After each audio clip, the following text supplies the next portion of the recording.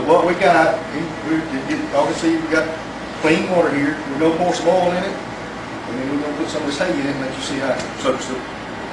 This is just some burn oil that, that, that he's got.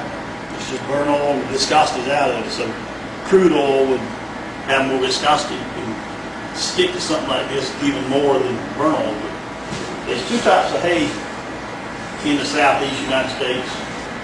Uh, and one of them's coastal Bermuda, is main common one, this is it, Bermuda grass. Another is a Bahia grass. Show you, look at that.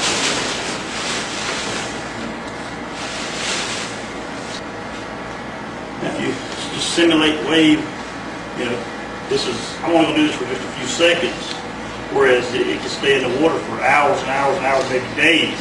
The hay won't sink. Because we think, first of all, you could actually disperse it onto this field that's out there now.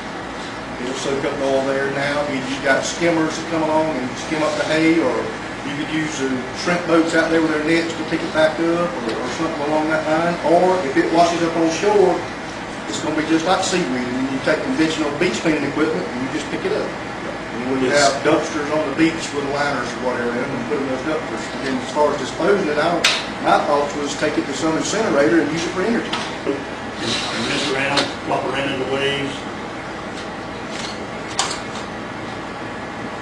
A look at this hay right there, look what's attached to it. Think about that.